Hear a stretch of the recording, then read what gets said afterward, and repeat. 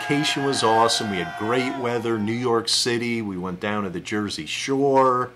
We went to Atlantic City, not gamble. What else did we do? Had coffee. Absolutely fish. Uh-huh.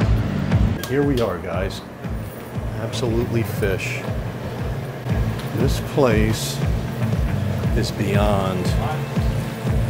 All right, this is the best retail place that I've ever been to. The, hey guys, how's it going? I'm just coming back here and I'm going to show you what they have back here from the back to the front. Okay, this is uh, sand, all that stuff. Okay, so take a look. These are rows here. See, they have fish on both sides. This is what I'm getting today, right here. They said they had some fox face. I don't know if this is the size. This is probably what I'm getting right here. Can't deal with my algae anymore, guys. So let's just take a look down here. Check out all this, these fish they have in here. It's awesome. Look at this guy. Is another. And they keep their systems perfect in here. There's no ick, no nothing in here. Look this guy, Sweet Lips, I remember them. I had one of them once. Tom, I'm here for the fox face. What's your name, bud? I'm Brad. Brad, all right. Is Patrick around today?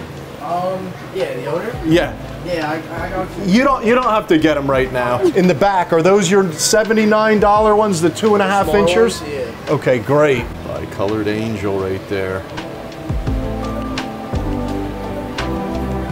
That's some awesome fish in here. Look at this little trigger. Oh.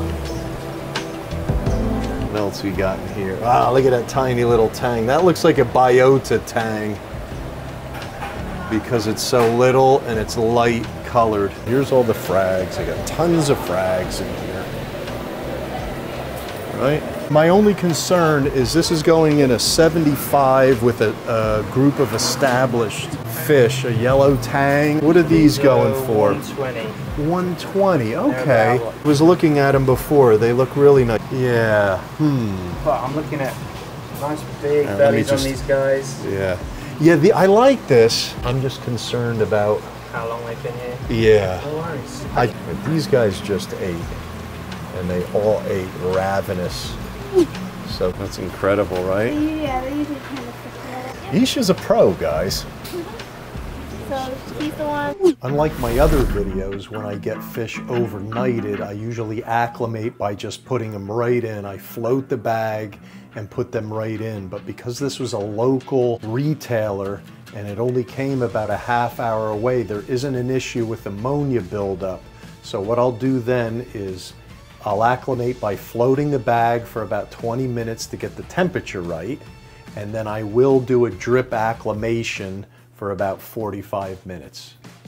It's tough, guys, with adding new fish. Considerations are a lot of luck, and you need a strong incoming fish that will be able to deal with the stress from the other inhabitants, depending on which one is going to torture them for the first few days, sometimes more.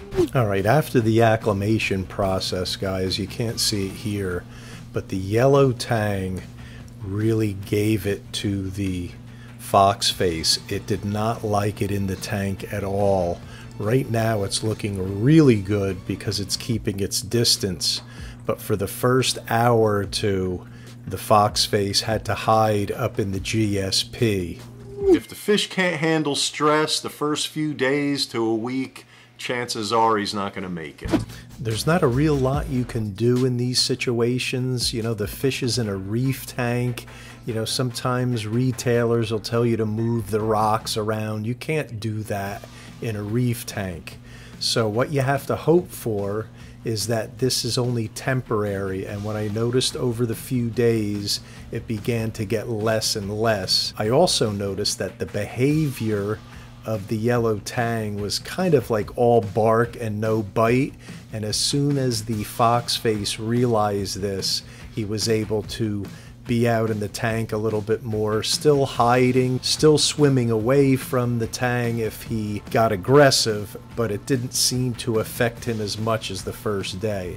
Regardless of what you read about the fish and what fish get along with other fish, it doesn't always happen the way it is in textbooks. There's just a dynamic that goes on in the community of fish. If there's one dominant fish in there who's got control of the whole community and a new one comes in, it's going to get abused. As far as the other fish in the tank, it's as if nothing happened, nothing changed. The only problem I had was with the yellow tang. So it's been four days. The fox face's color is really coming out. He still hides a lot from the yellow tang. He's eating some of the nori. Uh, he's eating a little bit of the food that I feed now, so I think I'm out of the darkness, so to speak, and I think he's going to make it.